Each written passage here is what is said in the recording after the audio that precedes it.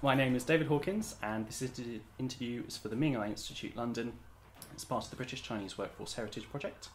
And could we begin uh, by you telling me your name? My name is uh, uh, Ke Song Xuan. The surname is Ke K E, and Song S O N G is my first name. And uh, Dr. Ke, where were you born? I was born in the center of China. The province is called Hubei. Uh, can you uh, tell me about your uh, family? Uh, how many siblings did you have? Oh, I have a quite big family. At the moment, I have uh, uh, two other brothers, two sisters. So I'm one of them. I'm the, I'm the middle one. Ah, okay. I see.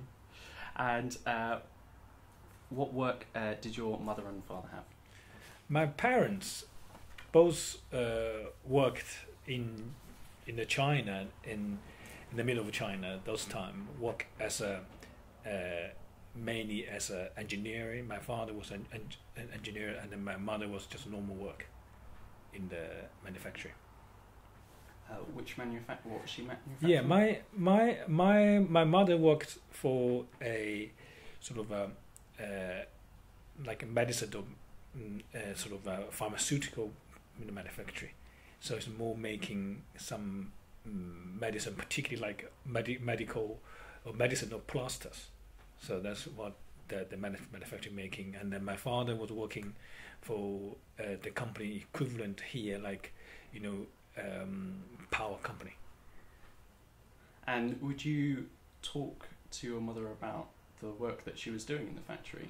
Is that how you first became aware of medicine? Medicine. Well, no, and um, the medicine uh, the the reason I was get into medicine, or rather Chinese medicine, there was a, a sort of sort of a story about this. Is um, uh, my family traditionally we had some in our history in the family we have we had some Chinese doctor in the family, which is in China is quite a traditional because a family running a family, a doctor in running families. So and uh, uh, when get to my father generation, my father was sort of studied or worked as a you know as, as a scientist at engineering work, so did not go to the medicine this career. But when he was getting old, he was rather regret his life, you know, did not choose the right path. He quite interested in medicine. So in fact, my my father uh, wished uh, that time when I was when when we were all small, was uh, he said we want one of my children or one of my children to become a doctor in the future. So and uh, and and particularly he's very fond of uh, Chinese medicine. So so because that reason, so he always persuade us to study medicine, and uh, and uh, even when I was very young, from age of thirteen, so he even found me about three masters equivalent we call them medicine medicine the man you know it's like old master they're not they're not sort of professional doctors but they're doctors in the old fashioned way chinese way. So i was uh, uh, sort of working uh, study for them for for many years from age of 13 to age of 17 about three four years during the weekend. That time i was still in the middle school.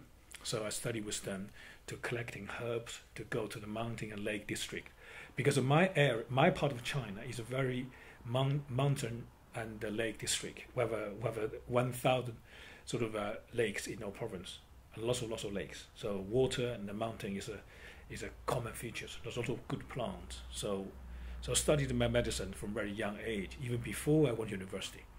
So that's how I get in medicine because my father wanted me to study Chinese medicine, and uh, of course now it, it turned up I have more than one doctor my other my other two brothers all doctors. My elder brother is a he's a doctor working specialized in MR scanning. He used to working for the Harvard University teaching hospital for 80 years. Now he's in another uh, hospital in, in, in America. My young brother, also doctor, also highly qualified doctor. He he works for the for uh, like DNA specialized and DNA site, and he works in Los Angeles, so as a doctor. So, and uh, I'm the only one in the family actually a Chinese doctor, and inherited all my Chinese my Chinese doctor tradition. And in fact, I got all my family books from my father inherited from the generation above. So therefore, I have all these family books. Some of them is handwritten for about, you know, a few hundred years. And one of my oldest books was about 800 years old books. It's for my family. So I got all of them. And are these books uh, anatomical or uh, what sort of information do they cover? Well, the Chinese medical books, obviously in, in those times, are mostly written by individual doctors. And uh, some of them may be published, some of them never published. So that's why those are handwritten. So there many is about the individual experience treating illness, such as say if somebody suffers from like say you know um, hepatitis or we call it jaundice at that time maybe and uh, maybe some problem with infection, you know maybe like chickenpox or these sort of things. I see lots of even in old books that hand drawing like chickenpox, you know, you don't do the pops, thing like that. So therefore, yeah, there's various just more more about about the the condition we're treating. Yeah, there are a few books about theory, but more, and those are more printed book in old time. But this is more for handwritten books. So after your years during uh, middle school Yeah. training with these masters, uh, do you come? Did you come away with some qualification, or uh, so? Uh, how did you? Uh, yeah, did you receive any qualification? How did you progress then? Okay, yeah, training with those masters. Yeah. Well, because uh, this is we have to go back the uh, educational system or political system in China at those time. Uh, during during those years, China was in the especially when I was that small that age, we are right in the middle of called cultural revolution. Okay, so that in that in those period time, so China has have this uh, have this policy. So all of the middle school graduates was from a city are sent to the country to so-called re-education. So regardless where you are, so uh, nobody can go to university unless you've been re-educated, re- re-educated sort of. Uh, so therefore, after middle school, I was sent. I was working in the in, in the farm for, for two more than two years, as a that's like one of many millions Chinese students working there. So uh, the, because the study was a master's, it didn't get any qualification. Just only you learn. That's that's that's in fact this old-fashioned Chinese way of train doctors, and there's no such a degree in all the time. So I learned many uh, first-hand knowledge, such as like say I can recognize many many plants and how to collect them and how to make them into medicine. So and for treating simple illness, and uh, sometimes maybe complicated illness. For example, the snake bite. You know, in in this in, in now that even the hospital has very fearful if you have a very poisonous snake bite, what do you treat? It's very difficult. So we know how to do it with medicine. And then after that, I went to the country so education, so called in, in the farm. But luckily, because my farm, I specialized the way the, the work I was doing in fact is growing Chinese herbs. So I go back to my old profession again. So I studied how to collect the herbs. So now I, I, I know how to grow in herbs and how to make them, sort of uh, collect them and store them. So and also during those two years, I had another particularly very interesting job. It's because we are many many so-called sort of students working together in the farm. So in those years, China have a medical system. It's called have a barefoot doctor. So they're called barefoot doctor. It's because of those in those time there's a, there's not enough medical or university trained doctors in the country because of very few universities anyway. So majority of the people's sort of primary health is sort of looked after by so-called barefoot doctor. Those doctor, on the one hand, they're working as a farmer, so that's why they wear the no no no no, shoes, so-called barefoot. On the other hand, they also can treat many simple illness, such as say if you have a cut, you have some like diarrhea, or headaches or fever. So there there are no basic basic sort of uh, skill trained for a few months. So I was trained for a couple of months in the in the in the in the, in the hospital, like all the nursing, injection of the work, and plus my previous training as a, for my masters. So I was quite good as working also in the meantime as a barefoot doctor for two years in the farm. So that's gave, gave me more knowledge.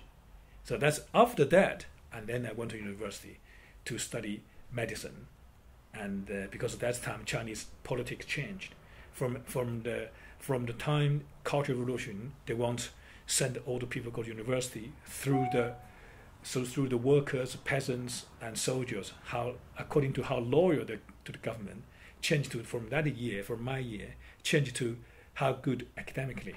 So therefore, we have a nationwide entrance exam. So I very luckily passed the exam. So and then I can choose university I want. So in fact, I choose the first one to study Chinese medicine, which I get it, and that's why I'm here. So, were you, um, were you in a, or you an unusual student that you already had a good number of years in first-hand experience Yeah. of treating patients compared Indeed. to your classmates? Yeah, yeah, indeed. But this this is not very rare because in my year, which is very interesting, which is called which Chinese called 1977. So if you if you tell anybody about say the student in Chinese history from 1977, this is the first year after the Cultural Revolution, come back to the university by the examination. So it's a because I have more than 10 years university student never gained this examination all through different. So there's 10 years gap. Chinese Chinese sort of in academias have a big gap. Nobody come have a proper knowledge. So therefore, in my year, we have many people like me to working in a farm, in somewhere, some other peasant place, or even workers for they have, they have a, some knowledge like me, you know, barefoot doctors. So come. So it's not rare. And uh, so therefore, yes, we have a, for compare with some people without this knowledge, have a lot of advantage. Perhaps that's, that's another reason why as soon as I come to UK, I become much more very easily getting sort of into the into my profession in a very top top of my profession because when I, when I was giving lectures to many schools, in fact, the first lecture I was giving in this country is in Oxford University. I was giving lecture in Christ Church College in Oxford, and uh, there's about 30 people, doctors and nurse, or people, or people come to my lecture to see what is Chinese medicine, how it works. So I give them, I give them the, the, the talk about Chinese medicine, how it works, how we use medicine in our native way to use, and they're very fascinated because all they talk about is very, very sort of uh, things which we use in our in our life, not even written in the book. So that's why many people start want to learn from me more. So in other words, I have a real what what do we call real authentic Chinese medicine, the knowledge, the skill, and the experience. And going back to your uh, brothers and yourself, Yeah. all ending up in medicine, w- was this something you were uh, very motivated to do? Yeah, in fact, I could say my family, rather sort of a genetically speaking, perhaps we are quite good in science. That's why my father was studying engineering was good. So in fact, when I was in middle school, I was very good at math, and those are all my brothers too. So in, in my in my middle school, we have a math competition, and I was a champion. I, I, I came on number one. So I should go to scientific study maths, but I didn't because I followed my fa- my father's wish. That's always Chinese tradition. A son always follows the father's wish to do whatever he wants to do. So anyway, so and uh, but of course, my other brothers uh, do similar things, but more towards Western medicine. So I'm the one particularly interested in Chinese medicine. So and yes, that's no no really regret. But we, you know, there's no no way we can compare. If if had I not done this, what would happen? But we are very happy, and uh, and particularly particularly the the the older I get, the more work I get. I really more. I think that this profession is good because particularly nowadays, the most thing making me happy is I see so many thousands of my patients come to see me. They feel wonderful. They feel happy. Many many many people, for example, can't have children after you know tried many many times IVF or other treatment, nothing works, and come here after a few months they conceive naturally or somebody have a say problem with cancer, doctor tell them going to die, and they come come to see here. Even you know sometimes they tell them you, you're going to die in a one year or two years time, but people come here after 10, 20 years still alive. So that's very pleased. I'm very pleased for that too. I can imagine. So when after your time in university in Yeah. China, Yeah, did you come away as Ke Yisheng? Were you Doctor Ke already, or yeah, yeah. Because of one one one one university, so that is what called a proper qualification. Six years or in university study for that. So I was for five years studying another extra year, uh, extra study university. So in total six years I was there and uh, and qualified as a doctor. So that time, so that means in China I could practice in the, any hospital and prescribe medicine, both Western and Chinese medicine. And but because I, my background of my medical background knowledge is good, and also maybe I will study hard, so I was immediately kept in the same university to become a teacher, because that's quite rare. Because normally they want all the young young guys go, but it's a few good good good students they will they will keep them and uh, further training and make them become teacher. So I was become teacher there, and that because that's the very reason.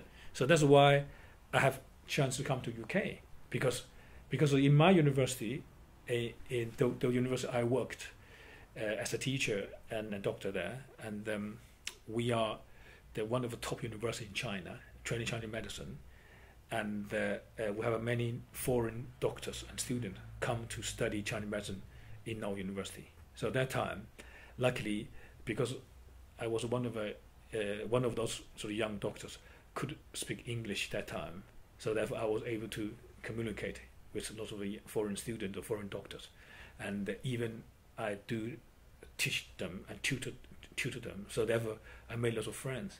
So that's why eventually they helped me and uh, you know to, to to get out of China and to study or to, to, to, to come to UK.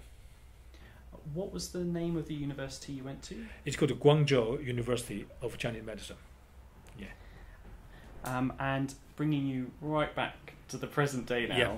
Uh, uh, what is your current main focus? What do you spend most of your time well, doing these days? My work at the moment, uh, at the moment, as probably here in film here, this is a, this place is called Asante Academy of Chinese Medicine, and uh, uh, this organization is I formed it, sort of uh, um, founded in in sort of 1999, so nearly 15 years today.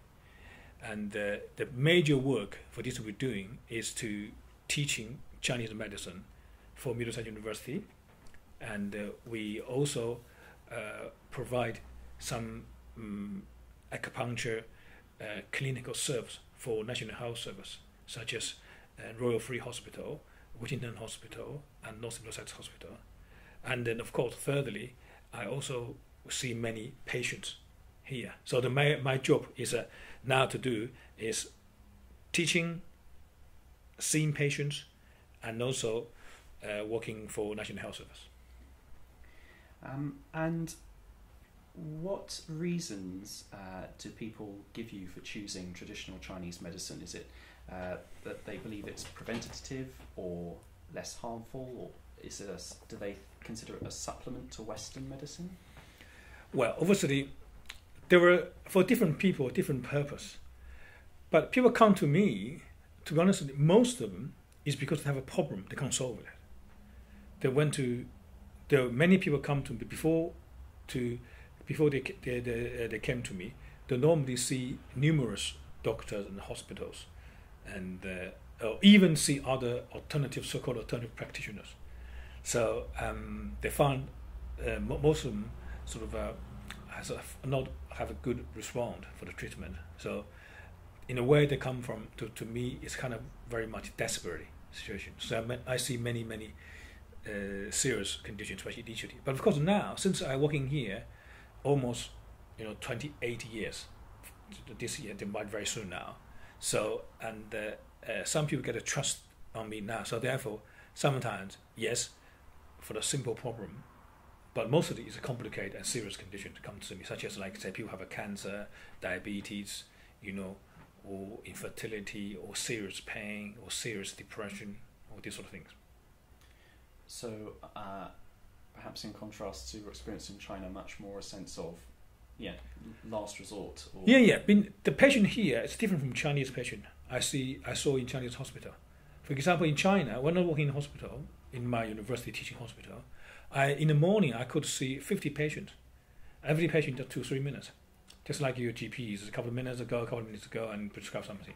So because some of the very simple condition, just cold or to coughing or something like that. But here's a more complicated. People come to more more longer history, longer. So therefore, I could not do that. I could do it maybe in the morning. when, when I was busy, very time busy, I normally see about 30 to 40 patients a day. So therefore, maybe half day, 20 patients or 10 patients, something like that. And could you, uh, what, firstly, what's your role in as part of uh, the Asante Academy, Yeah. apart from being its founder? Yeah. Um, and within that role, how do you, um, where do you see the academy in the future? Okay. Now, first of all, let's also go back to about 1997. Uh, in 1997, Middlesex University started the first Chinese medicine degree course in this country. So, in fact, that course, the start, the reason the Middlesex would, uh, was able to start this course, which is very rare for British a British university to start Chinese medicine degree course, because uh, for Chinese medicine in the in the old time, maybe perhaps still now, people thinking, well, it's there's not scientific based medicine, so it's not evidence based medicine, so therefore it's not medicine, so they call them, and it's like you know Chinese medicine should not be taught in the in the university. So or think even some people have a negative attitude towards Chinese medicine, it is a completely crack or something.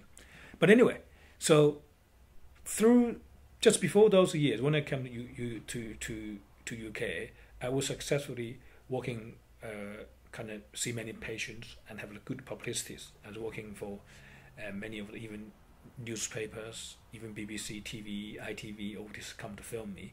So I did lots of publicity, and I give a lots and lots of lectures anywhere. So people people eventually convinced and persuade to think this is something good. So that's that's how we initially start this Middlesex University degree course. So joined with Middlesex University, with University of Beijing, TCM University Beijing, and and and uh, Asante. So we start this course together. So and teaching Chinese medicine in university level. So as a part of the university sort of whole sort of um, uh, training uh, program, so we need a place for student training, clinical training, and uh, and that's why I started this Asante Academy. So primarily, the Asante Academy is for Middlesex University students clinical training, and so I started these things, and uh, I get everything planned, organized, find doctors, and find and get all the things. So and ever since we're doing very well. We trained many many students up to now, 15 years. So I had a very good response. The students always in university highly sort of praise this is the best part of, of Chinese degree course because they learn a lot. And for that reason, and also I try to expand to them to promote them into international health service. Because for me, for personal work as a, as a doctor, it's not too, too difficult because I have experience treating the, the patient. But I don't think the one person is not good enough. So I need more people to know Chinese medicine. That's why I want to go to education. And also, if we don't get these things recognized eventually by normal medicine, the doctors, we still never get anywhere. So therefore, that's why I will try to work hard to persuade the National Health Service, the doctor, to use this. So, so luckily, I did manage. So for the past 10 years, we've been seeing for many, at least more than 10,000 patients in the hospitals. And, uh, and the response of them always in favor. So, the Asante Academy is part of that uh, promotion and Yeah. example of Yeah. good traditional Chinese medicine practice and how um, beneficial it can be. Yeah. Um, how, how is it just through the number of students that you have in the academy, or how else do you use the academy to promote Chinese medicine? Yeah, because uh, you know, because in Chinese medicine, in this country or in any country, in any- in any other countries in the world, and uh, uh, although for the past say twenty years has become popular, but there always come good and bad images. Some part think Chinese medicine, you know, some clinic is com- completely very run down, low class, dirty, you know, and maybe even just charge too much money in order for work. All these things, image or some medicine, some you maybe even get some people have a little, you know, um, sort of uh, bad images, you know, for for various reasons. So, and that's why I feel that is wrong because it's not properly introduced Chinese medicine to the West. Because Chinese medicine, I always tell many people, I said, Chinese medicine, they can survive in China for more than 5,000 years, even up to now. So, must be intrinsically something good inside. Otherwise, this is we're not able to last like fashion. This is not fashion. So intrinsically, they are good in something. Just unfortunately, people did not have a proper knowledge to teach, to spread, or have a proper skill, say English. They some Chinese are not good English to tell people. So that's why I want people in the West know Chinese medicine properly. So what is real Chinese medicine practice? We are not telling people we have a we can we can play miracles. We don't tell people we are like magicians. No. Everything people come to us, we tell them what is the problem. Some problem we can help, some problem we can't help. Some problem may take a longer time, some problem may be short time. So there's no such oh yeah you take this you better tomorrow or put one needle tomorrow. No, there's nothing like that. So but because of this, we want to control this proper ethics of the practice, and of course, I want to teach people the real authentic Chinese medicine because there are many, many knowledge in our Chinese medicine. Even many books, we have a lot of them. The problem is because many books are written in ancient Chinese or in old Chinese. So even for many Chinese people, difficult to read them. And, uh, and many of the meaning in Chinese, the textbook, is between the words or between the lines. So those things, you need a very good doctor to, to, to explain to people. So therefore, that is what I'm trying to do. So give people the real authentic, authentic knowledge and guide them to practice, to learn properly. And of course, and by then I can show the public, I can show the medical authorities, here we are, there's something working, simple, safe, and uh, sort of reliable.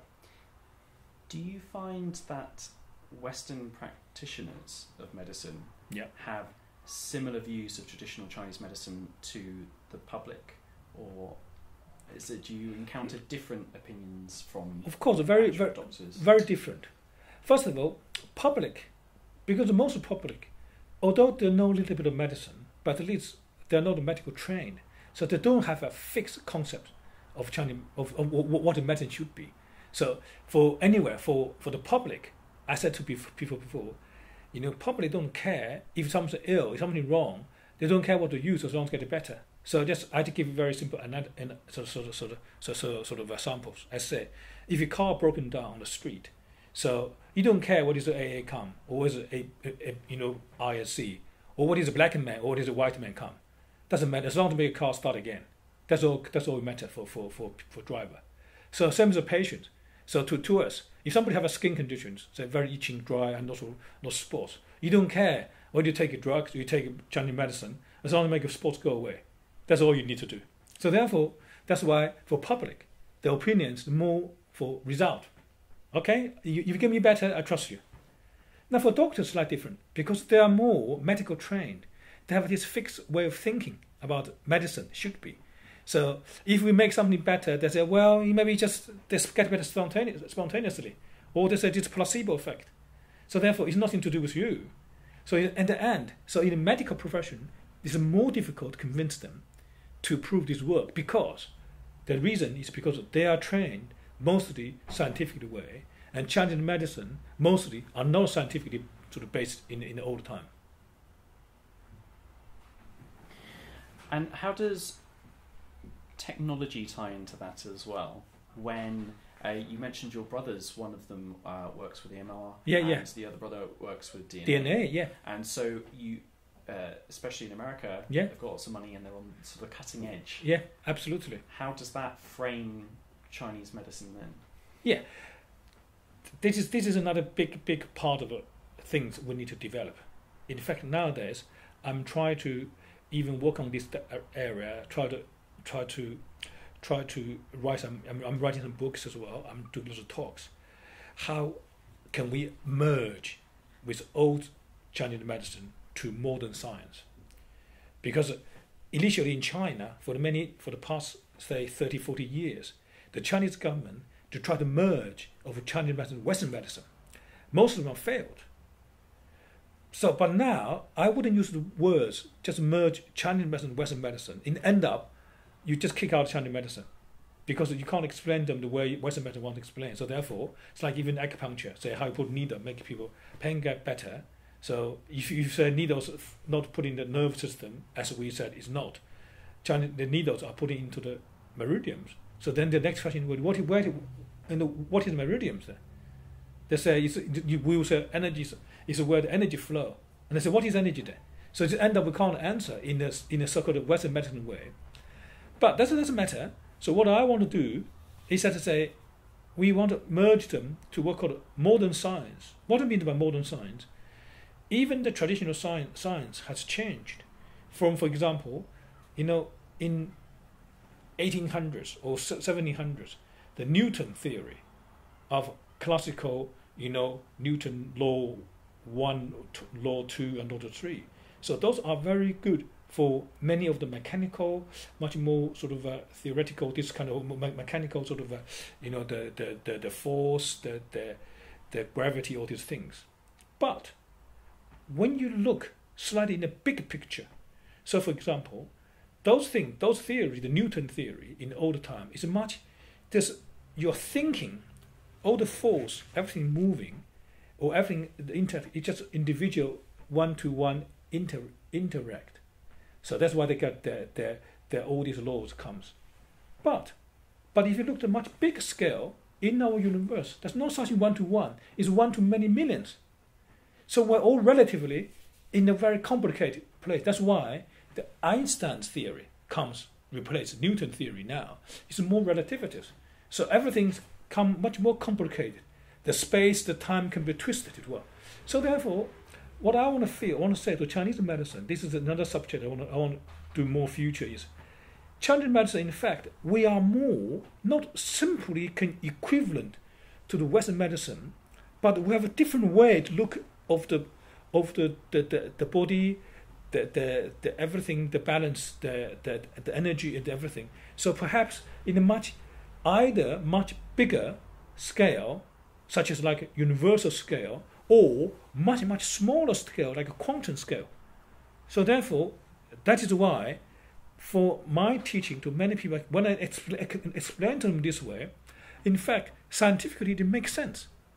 You know, when we talk about it, for example, early, early on we talk about the Chinese, say, acupuncture based on the meridian, meridian based on the energy flow. So energy, what is energy? In fact, now, it's not simple to say energy, just energy as you oh, all feel energetic. Energy is a much complicated things, and one of them, which I explained to them, is, is like very much equal, equivalent modern science to say. It's like invisible power, which now in the universe we call dark energy, dark matter, which is invisible but it's there. Same in our body, we have something inside, maybe not visible yet, but it's there. So that's how we, I'm trying to do more, explain and teach them. That hopefully, in time, I mean, because maybe need many, many people to work, many years. So that's ten time we merge together. So the Chinese medicine and the Western science and come with Western medicine too, and then merge together. Oh yeah, that's the that's part of the human body. Because now it's like the Western medicine to look at the body with their telescope, they can or microscope both. They see only one scope thing, but we need to see. You can only see one one side story, but our universe is multi-dimensional. So you can't just see from one dimension. Perhaps other dimension can see different things. So that's Chinese medicine comes. So, uh, staying on this uh, relationship between your work in Chinese medicine and specifically the NHS. Yeah. Uh, how many? How often are do you get referrals from Western practitioners? Yeah. In our NHS service clinics, which we run almost every day, all the hospitals, they're all referred by by, by Western doctors. We don't book patients. We have a we don't take care of booking. We only treating patients. So in fact, all referral organized by the GPs and consultants. Uh, well, I think actually we've discussed uh, discussed this a bit already, but Fine. I think it was. Um, it's is that then seen when they're referred? Yeah. Is that then seen as the core treatment rather than a supplement? Normally, it's a core treatment. Yeah. Most of them, people are referred to us. Hmm. They have gone big tour of other departments first. Hmm. So they maybe go to the GP a few times, go to the hospital and different departments, all failed. Let's go to acupuncture. So therefore, we become very core treatment for them. Yeah, and uh, and in fact, uh, and some of them, um, when they become so good, they want they want they want to keep coming back and keep coming back. So now become because of that very reason, we they, our successful make our own trouble because too many people want to come back, so the waiting list is too long and then some people can't get treatment and the, the result can't be good because too many people want to come. Do you want to expand the Asante Academy then? Well, Asante Academy is a. I don't want to actually just expanding just simply this academy. I want to expand this kind of model because I feel what I'm building of this service is um, number one is good model for for the for the for Chinese medicine in this country because they serve the hospital well, and then also can do the teaching and see the patients. And uh, of course, if I can expand Asante bigger, I would. But of course, I don't want to get too much administration work. I didn't want to concentrate on my study, my research, for my academic side. How has your experience changed as a consultant um, uh, working with the NHS from when you were lecturing in Oxford Yeah. to the present day? Well, at least now, the even though it's very difficult to convince many doctors, medical professionals, but they, there still can be changed. So I have been luckily made a lot of friends in the hospital for many Western doctors, nurses, all sort of things, doctors, people, and they are from some people from beginning, you know, know nothing about Chinese medicine, become a fan of Chinese medicine. Some of them become maybe negative about Chinese medicine, now become positive. So, so I think this is only beginning. So we need more people to work in this field because only we've got more doctors and more nurses and more medical, so so, so medics so support us, and then we that's what we can have hopefully much better future. It's, uh, that's made me think: Are the the people that apply to the Asante Academy in practice Mhm. Chinese medicine are they themselves Chinese or No, no. Our students, we have a lot of students primarily from Middlesex University. That's the number one student. Number two students we have are from many countries. Europe. We have French doctors, Greek doctors, Italian doctors, you know, German doctors. All went went to learn Chinese medicine in those in those countries. They don't have a they don't have a place to real practice to learn. They probably have can go to a few seminars, or maybe have a few books to book books to read but there, there's no place to practice, which is a very important part. That's why they come here to train with us. So we have many, many people from continents, as well as many people from from UK, apart from our students. So therefore, that's another big part of our, our students too. as a teacher and researcher of Chinese medicine? Um, what's what's sort of your typical practice as a researcher? What do you what do you what- Well, I wouldn't say I'm a researcher. I'm a more clinician, to be honest with you. I see patients more. But even in the clinical work, it's also part of research anyway. So I, I don't want to say I'm a clinical sort of research doctor. So I'm a just normal doctor.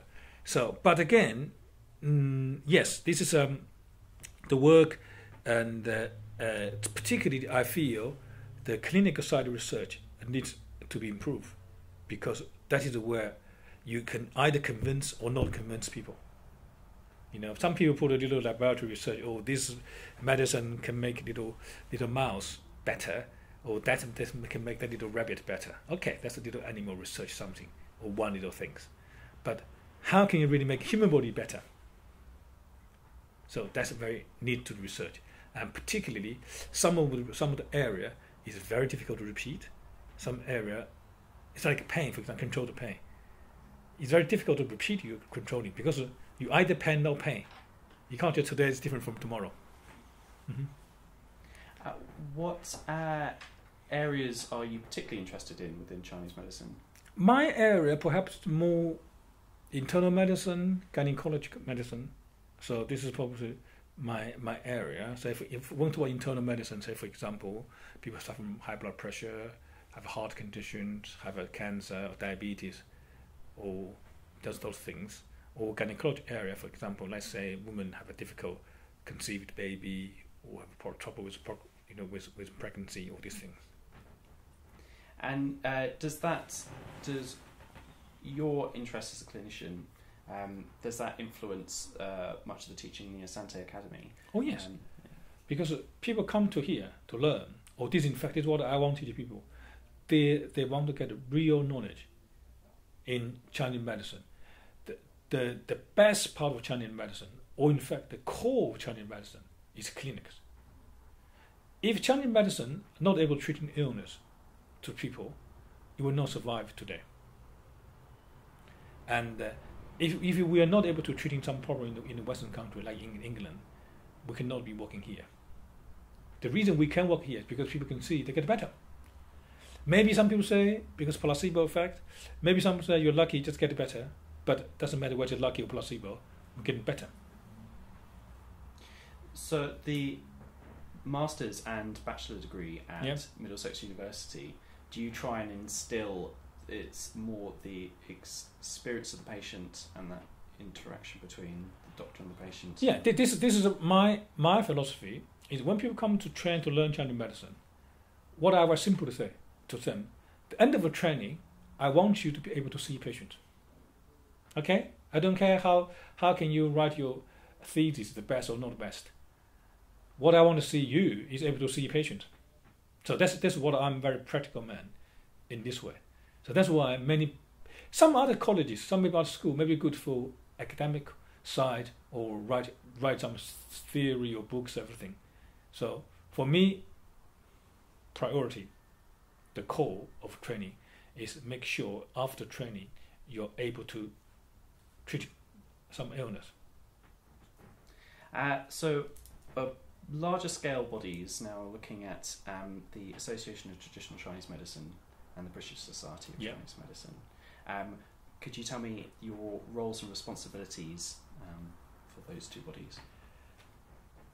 In fact, all those organizations the Dimension mentioned you two, I was the founder for them. So I initially helped them fund them to, to set up this this whole organization. The reason I want to set up with other few colleagues together, I'm the key founder, is because I feel we need to work together we need to have a, a sort of much better standard throughout all whole UK to practice. So that's why I found those organizations for the promoting Chinese medicine to improve the standard, improve the practice, ethics, everything. So and uh, now there are and there there are you know expanding and more people join. So so at, the moment I'm not actively working as a council member. I'm just advisor okay say for example for the ATCM so and uh, but I do advise people but mainly it's that they work you know and uh, through through what we did in the past or carry on this same kind of regime so you're advising other professionals other other I advise say for example the uh, AT, there's a ATCM which is Association of Traditional Chinese Medicine so I'm I'm honorary you know, ad, ad, ad, advisor for them, and the advice sometimes ask me something, you know. But I'm not a council member now because I retired from there. Uh, when you were a council member, did you uh, who um, who were you uh, speaking to? Was it uh, members of the sort of Western practitioners, or were you um, how how were you regulating or standardising the quality of traditional Chinese medicine well, in the UK? When I was a council member, or when I was even chairman, I was trying to working uh, with many other sort of a similar organization. Basically, I want to learn from them. For example, we learn from British nurse what standard they are, or British, let's say, in the osteopath organization, or British some kind of sort of a, a chiropractic organization. See how they control their professions. So we learn like ethics, the practice, everything, or the standard of training or education. So we try, and uh, so, but of course, our medicine, in, in some way, is quite unique. It's different from what they're doing. So therefore, we have to think about the way we suit for our practice, as well control the quality. So that's why we give some advice. Say, for example, if you want to, you know, set up a standard of acupuncture practice, what is standard? How many needles put in standard, or how deep? These all things. So, of course, we, we, we advise them by one by one. What what it should be standard. So, uh, how how did you establish the standard, and Well- what what is uh, is it uh, set down now? No, no, the standard is long. It's a very it's big, it's big, big, it's big, bigger books. It's a big book. You can- can't go through everything. Just give some examples. So, for example, you know, what is the best way to put a needle in? So, are you putting needle in, you know, and uh, uh, beforehand, uh, should you wash your hand? Not wash your hand, or wait, wait, hand to touch needle, no, no needle, and uh, and uh, and where should put in? This on in, in how deep, how how how because in some area, if you put deep like lung, you can penetrate lung. You can you can it's no good. So therefore, so it depends on all this this different area. So we have certain uh, certain sort of uh, rule. So if if you people follow that rule or those standard, and the practice will be safe. If you don't follow them, you may get trouble. So it's a powerful way to protect the quality of care. Absolutely. medicine. Absolutely. And those those rule has to come from, from, from people like me, professionals. Because if you ask the government or even ask the Western doctors to give you rule, they don't know how you practice, what what you're doing. You know? Like cupping. Is it cupping in the Western medicine don't do it. If you do it, so how you how, how what do you do the safest way? So give them advice. How has uh, the ATCM grown? Oh, you know, ATCM, since I first started it, the first time I, I remember our general meeting, which is, and also council meeting, is in my house because I host all the council members in my house. So 50 members. So now it's about nearly 800 members. So, so lots of members. So, you know, and because now I'm not case, you know, ATCM council member, so I don't know how the day to day running. I'm just advisor. 800 people would not fit in your house. Yeah, no, no, no. Uh, so, uh, what other uh, regulatory bodies uh, did, when you were the director, did Yeah. you deal with? Yeah, in fact, I was also the member of a British government set up a wonderful regulatory body. It's called uh, the Department of Health. Many years ago, set up. It's called Herbal Regulatory Working Group, which is set up a kind of legal frame of the legislation of of herbal medicine. So we give advice as well. So that's running, commissioned by the by by the Department of Health and uh, by the King's Foundation, you know, and in uh, uh, Prince Charles sort of uh, foundation. So, and I was a member there for working for a couple of years. But of course, at the moment, this this is still a quite sort of a dodgy area. I say dodgy is because the government one day they say we want legislate, another day we say we we wait, and so there doesn't there's not really certain.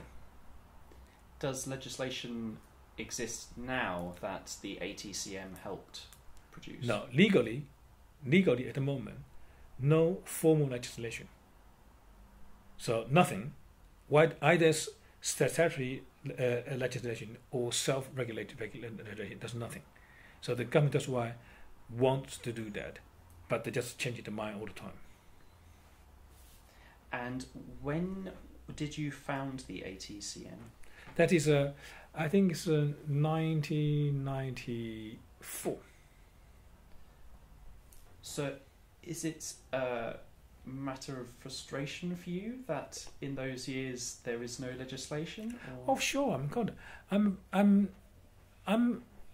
In some way, yeah. I was even up to now. I'm frustrated too because after so many years working on this, try to promote, is we're still not able to properly legislate it, not proper protect our title, and, and also not properly protect the quality of Chinese medicine. So that's why still somebody, you know, like cowboy practice, make it ruin our name. But if you have this legislative, perhaps less case like that. But, but I can. On, on, on the other hand, I can see you know the thing has moving ahead but just wish slightly more faster and have a you know have something you know certain there Going back to uh, th- this idea of protecting Chinese traditional medicine um, and legislation. I think. Uh, what, what what have been uh, the main turning points in, in, in that? You mean why we do that? Why we want to do that? Or? Not uh, not why, but a- actual um, uh, recognition or authority that you've gained. Uh, the Well, I think- the ATCM have gained. Yeah, yeah. No, I mean, we haven't really gained any authority or any any recognition in informally, because uh, in fact, I'm the one who pioneer to work in this field. For example, per- Persuade University to study the course. This is one of the landmark, put this way. And then I started on this hospital working at NHS, perhaps another landmark, because that's how we can say in this country, you know, Chinese medicine now is practicing at NHS. I can make, I can give examples. I can tell people in this country, Chinese medicine has been educated in higher education, so I can do example. That's that's a landmark. But again, there's still only beginning, and uh, we still want more people follow this footstep.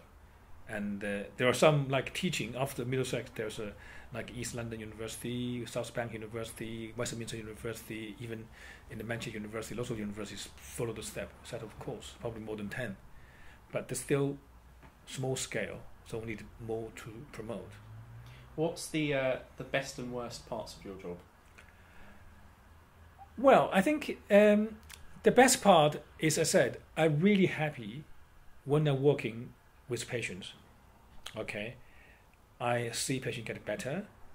I help them. I see their smile, their appreciation. You know, many people even say to me, I had many patients tell me when I in the past, whenever I go back to China for holiday, they said, Doctor Ke, please make sure you come back. You never not leave us here. We want you to come back. So they always afraid me to leave them, not come back to UK. I said, don't worry, I have to come back because my daughter's here. I can't run away. So I will come back. So this is a show that I very appreciate, you know, really renowned. But on the other hand, of course, and um, the worst thing is uh, I'm still very frustrated in some ways from both in the public side, the in large, the Chinese medicine is still not really recognized, okay, especially in medical profession or government, and also another. Of course, we have to also talk about in our own profession. Some of the doctors, some of the people, they are not doing their job properly, so ruining our name. So there's both. Uh, you mentioned you have a daughter. Is she Yeah. your only child? No, no, I have two daughters. In fact, I have two daughters, and they're both doing very well. In fact, my young daughter now, she's studying medicine. Uh, at the moment, she's in Cambridge to study medicine in year five. Then, next year will be qualified as a doctor, and uh, she sometimes come here to Asante study Chinese medicine. So I want training her both. So she got a Western like well, I studied Western medicine too. When she got a Western medicine degree and learn Chinese medicine, so perhaps that's the way going in the future for next generation. So I have, I have fighting very hard battle to get recognition from Western doctor. But if my daughter comes, you don't need recognition because she's a Western doctor.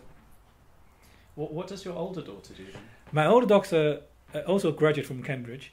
She studied philosophy, and uh, so and then later on she works. She studied another degree at Harvard, an MBA. So now she works for the banks. So there's a business side.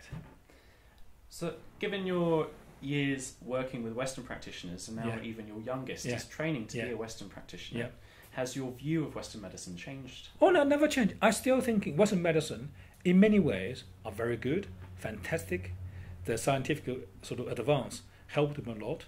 So therefore, they have a good, good, not good technique, good, good, good, good equipment, everything. But on the other hand, I see they are, in some ways, meeting going to the dead end because of the many illnesses they can't treat it. They can diagnose, but they can't treat it. So if somebody say, "Oh, you got epilepsy," what can I do? You got, you know, eczema. What can you do? Asthma. Okay, use inhaler. Use steroid cream. And that's not a solution. That's only reduce symptoms. So that's why we need to promote Chinese medicine to help the both. Find the problem and solve the problem. That might be the perfect note to finish on. But is there anything else that you'd like to? no, I think that's fine. discuss? Yeah, that's what I'm trying to do. Thank you very much. You're welcome. time. Gosh, that's fantastic. Yeah. Thank you. Just you know, this is a simple story. Just tell you did it. Oh, But- civil. My, my goodness. You, uh, yeah, you gave us so much. You gave us so much. You gave us so much.